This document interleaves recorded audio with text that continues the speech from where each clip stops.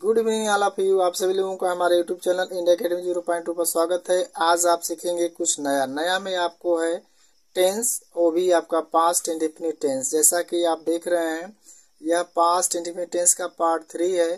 Part one और part two हमने पढ़ा दिया है और आज पार्ट थ्री में है इंट्रोगेटिव सेंटेंस यानी प्रश्नवाचक वाक्य। ठीक है? पहचान में आपको वही रहेगा, यानी कि ऐसे वाक्यों के जो अंत में जो आएँगे, आया गया लिया दिया चुका चुकी चुके आ था ई थी आदि जो है, ये शब्द वाक्य के अंत में आते हैं। ठीक है? ये इंट्रोगेटिव सेंटेंस है। ध्यान दीजिएगा, कोई भी टेंस हो, उसकी पहचान एक ही होती है, चाहे वो पॉजिटिव हो नेगेटिव हो इंट्रोगेटिव है। ठीक है? तो आज हम सीखेंगे इंट्रोगेटिव सेंटेंस देखिए इंट्रोगेटिव सेंटेंस में जब किसी वाक्य की शुरुआत क्या से होती है तो वो इंट्रोगेटिव सेंटेंस कहे जाते हैं। उस क्या के लिए हम वाट का प्रयोग नहीं करते हैं उस क्या के लिए अकॉर्डिंग टू सब्जेक्ट यानी कर्ता के अनुसार जो है सहायक क्रिया का प्रयोग पहले कर देते हैं। क्योंकि यहाँ पर एक ही सहायक क्रिया डीड है, जो सबके साथ लगेगा, चाहे वो एक वचन हो, चाहे वो बहुवचन हो, ठीक है? तो शुरू में लिख देंगे डीड इसके बाद सब। यदि वाक्य में नहीं रहेगा तो उसके लिए हम नाट का प्रयोग करेंगे। अगर नहीं रहेगा तो नहीं लगाएँगे। इसके बाद वर्ब की फ़र्स्ट फॉर्म लिखेंगे। इसके बाद ऑब्जेक्ट इसके बाद हो जाएगा आपका शेष वाक्य, ठीक है? तो ये आपका रूल है इंट्रोगेटिव सेंटेंस का। ध्यान दीजिएगा, हमारे यूट्यूब चैनल से आपको एक क्रम से वीडियो प्राप्त होंगे। उसमें कहीं भी आपको कटिंग नहीं मिलेगा। एक सीक्वेंस में आपको हम पढ़ा रहे हैं कि आपको बेहतर से बेहतर अंग्रेज़ी का अच्छा ज्ञान हो जाए, ठीक है? अब चलिए इस पर हम ट्रांसलेशन बनाते हैं। ट्रांसलेशन कैसे बनाए जाएँगे? आज हम इसको सीखेंगे, ठीक है? तो अगर जैसे हम कह दें पहला सेंटेंस पहला में अगर लिखें, क्या वह अपना पाठ याद किया? इंटोगेटिव सेंटेंस ठीक है। क्या वह अपना पाठ याद किया? तो देखिए इसमें आया आया गया, लिया, दिया गया, चुका, चुकी, चुके। तो ये आपका पास्ट इंडिपेंडेंस हो गया। जब शुरू में क्या आया है तो ये इंट्रोगेटिव सेंटेंस हो गया। इंट्रोगेटिव सेंटेंस का आप देख रहे हैं चिन्ह लगा हुआ है। ठीक है।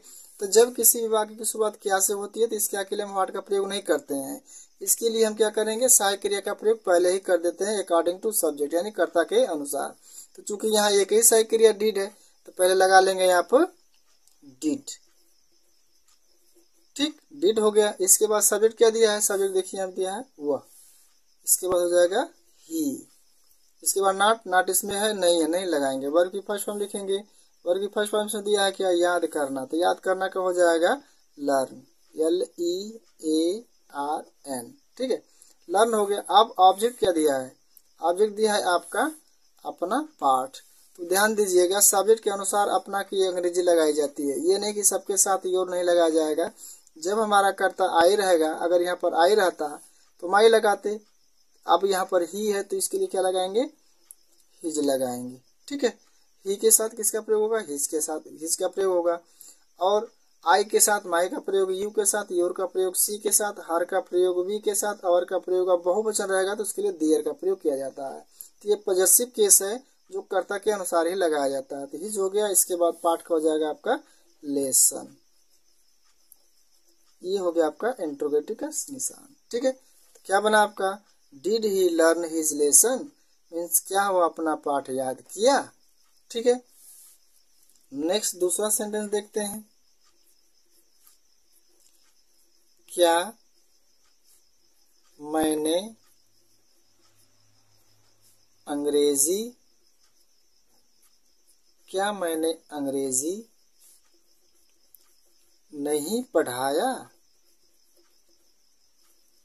ठीक है, पढ़ाया। ये भी आ की मात्रा आ गई ये भी पास्ट टेंस हो गया। यहाँ पर देखो आप, क्या है ना? तो क्या के लिए कुछ नहीं लगाएँगे, ठीक है? उसी तरह क्या करेंगे हम अकॉर्डिंग टू सब्जेक्ट यहाँ पर डिड एक ही बचन सॉरी एक ही साइक क्रिया डिड दिया है तो इसके साथ भी लगा देंगे आप डिड ये हुआ आपका डिड अब इसके बाद कह रहा है सब्जेक्ट लिखो, ठीक है? करता क्या दिया मैंने। मैंने का क्या हो जाएगा? आई अब इसके बाद कह रहा है कि नाट लगाओ तो इंट्रोगेटिव सेंटेंस में कर्ता के बाद नाट का प्रयोग किया जाता है, अगर नहीं रहेगा तो लगाएँगे, नहीं रहेगा तो नहीं लगाएँगे। क्योंकि यहाँ पर दिया है नहीं तो लगा देंगे आप क्या? नॉट इसे हम इंट्रोगेटिव नेगेटिव भी कहते हैं। डिड आई नॉट इसके बाद कह रहा है कि वर्ब लिखो। वर्ब क्या दिया इसमें? पढ़ाना। तो पढ़ाना का हो जाएगा? टीच टीच इसके बाद जो शेष वाक्य बच गया, क्या है इसमें? इंग्लिश तो किसी भी विषय के साथ ना ही ए और ना ही द का प्रयोग किया जाता है। ठीक है? ये हो गया आपका इंग्लिश क्वेश्चन में इसका क्या बना? Did I not teach English क्या मैंने अंग्रेज़ी नहीं पढ़ाया। नेक्स्ट तीसरा देखो। क्या लड़के स्कूल गए? क्या लड़के स्कूल गए या ये क्या लड़के स्कूल जा चुके? ये सब पास्ट टेंस के अंतर्गत आता है। तो इसके लिए भी क्या करेंगे? क्या के लिए कुछ नहीं लगाएँगे? क्या लगा देंगे? साइकिल या डिड लगा देंगे। इसके बाद सब्जेक्ट लिख देंगे क्या?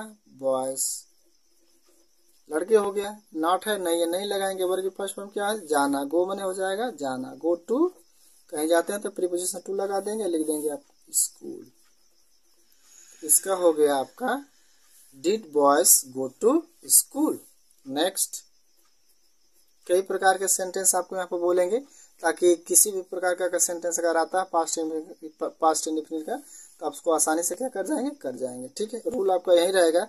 चाहे कितना भी बड़ा सेंटेंस हो, इसी रूल पर क्या करेंगे? आप लगाएँगे। ठीक है? अब जैसे कह रहे हैं, क्या?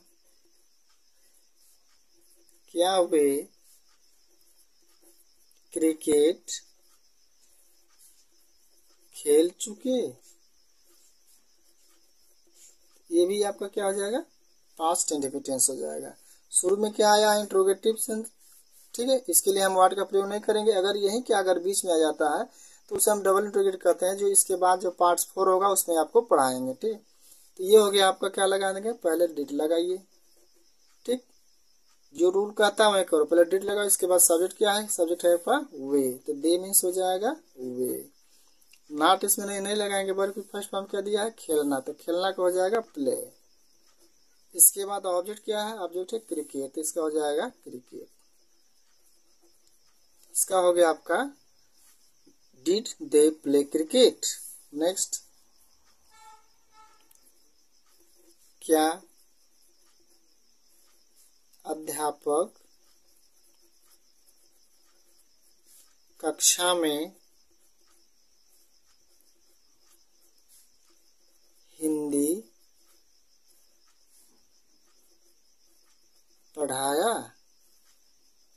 अब यहाँ पर देख लो, थोड़ा सा हमने बड़ा किया है, ये शेष वाक्य जो लास्ट में लिखे जाएँगे।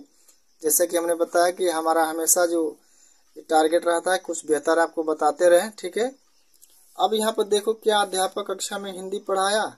तो यहाँ पर भी क्या दिया है इंट्रोगेटिव सेंटेंस आ गया। शुरू में क्या आ गया तो इंट्रोगेटिव सेंटेंस हो गया। यह चिन्ह भी लगा हुआ है। तो इसके लिए भी हम क्या करेंगे?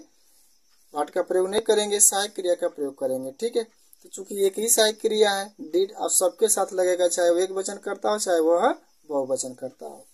तो डिड पहले लगा देंगे आप डिड इसके बाद सब्जेक्ट दिया है टीचर तो यहाँ पर द का प्रयोग कर सकते हैं पेशा और व्यक्ति के साथ द का प्रयोग किया जाता है।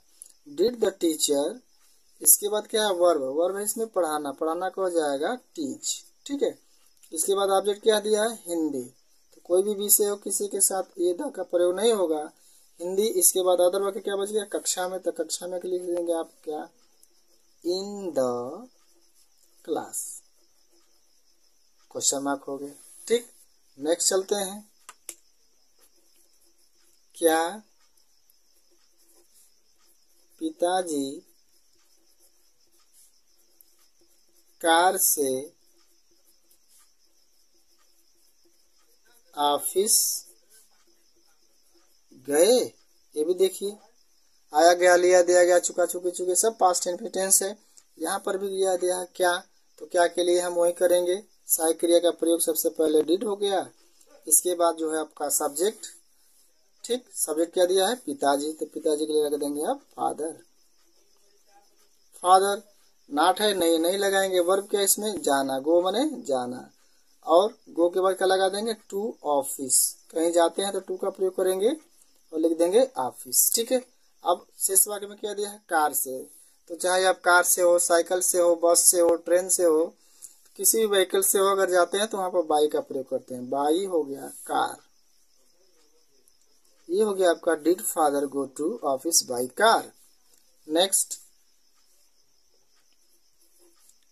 क्या मेरा दोस्त क्या मेरा दोस्त पढ़ने इलाहाबाद गया? अब यहाँ पर हो गया, क्या मेरा दोस्त पढ़ने इलाहाबाद गया? यहाँ पर भी पास्ट टेंस हो गया। तो यहाँ पर भी क्या लगा देंगे? किसी भी, कोई भी सब्जेक्ट हो, सबके साथ प्रयोग करते हैं डिड का। डिड हो गया इसके बाद सब्जेक्ट लिख दोगे आप my father did sorry. Father नहीं है, फ्रेंड होगा। माई मिस्टेक क्या हुआ हो गया। My father sorry my friend did my friend जाना का हो जाएगा गो अब इसमें दो क्रिया आ गई है, देखिए। एक जाना है, एक पढ़ना है। तो जब दो मुख्य क्रिया आ जाती है, ध्यान दीजिएगा, जब दो मुख्य क्रिया आ जाती है तो उनको क्या करते हैं? इन्फिनेटिव वर्ब बनाते हैं। इन्फिनेटिव वर्ब का मतलब हो गया कि दोनों क्रियाओं को क्या करते हैं? टू से हम क्या करते हैं? जोड़ देते हैं। इसका होगा did my friend go to read इसके बाद लिख देंगे आप, इलाहाबाद। ठीक है? इसको ऐसे भी बना सकते हैं। Did my friend go to Allahabad to read तो इसको फिर से क्या करेंगे? टू से जोड़ना पड़ेगा। लेकिन यही आपका सेंटेंस कैसा है? ये यही आपका सही है। इसका होगा did my friend go to read Allahabad? ठीक है? नेक्स्ट देखते हैं अगला क्वेश्चन अगला आपको एक्सरसाइज दिखाते हैं। क्या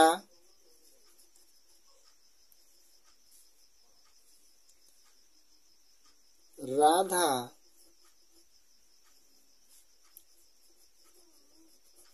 अपनी मम्मी के साथ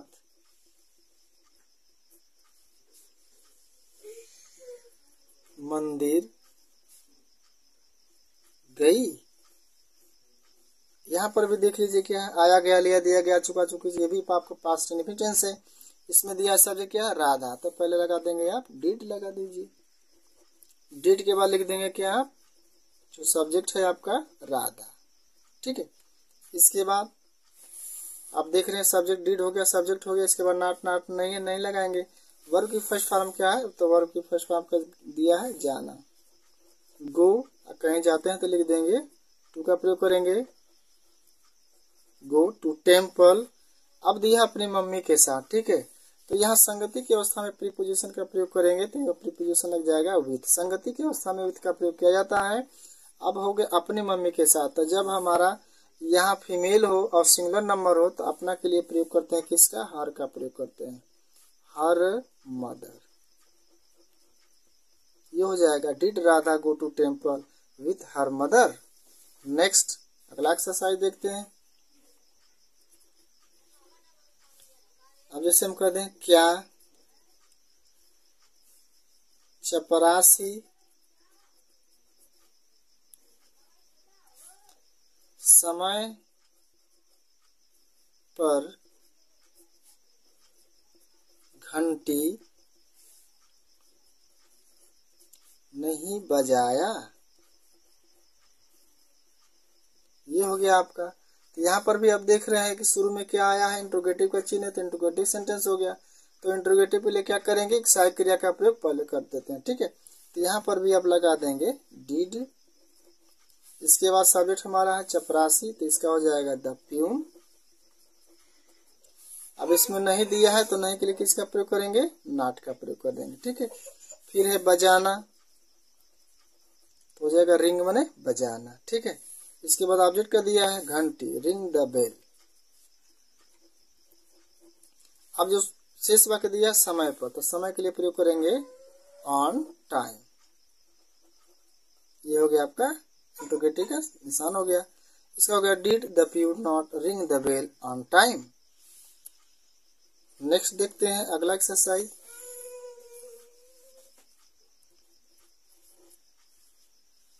क्या वह आपको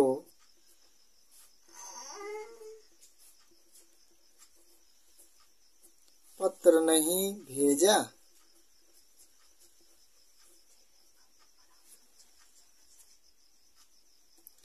यह आपको क्या हुआ आपको पत्र नहीं भेजा, ये भी पास्ट इन्फिटेंस है।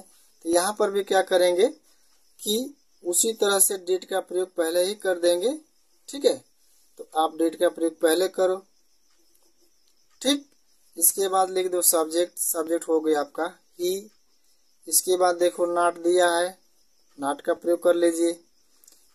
देन आफ्टर क्या लिखेंगे वर्ब की फ़र्स्ट फॉर्म तो भेजना का हो जाता है सेंड ठीक है? अब इसमें दे दिया है आपको पत्र, ठीक है? तो जब किसी भी वाक्य में मुझे, आपको, उसे, तुम्हें सब आते हैं तो इसको ऑब्जेक्टिव केस कहते हैं, और इसका प्रयोग जो है तुरंत कर्ता के बाद हम सॉरी वर्ब के तुरंत बाद हम क्या करते हैं? कर देते हैं, ठीक है?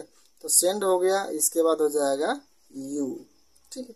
इसके बाद पत्र हो जाएगा ए लेटर ये हो गया आपका did he not send you a letter क्या वह आपको पत्र नहीं भेजा? नेक्स्ट देखिए